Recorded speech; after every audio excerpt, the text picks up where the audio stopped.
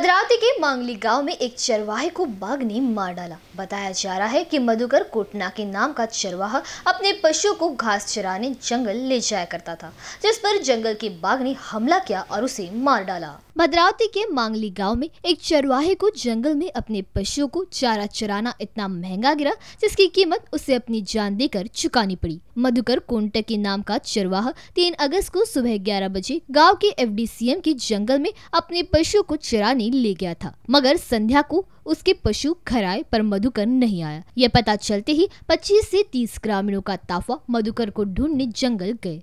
चारों ओर उसे ढूंढा, पर मधुकर नहीं दिखा।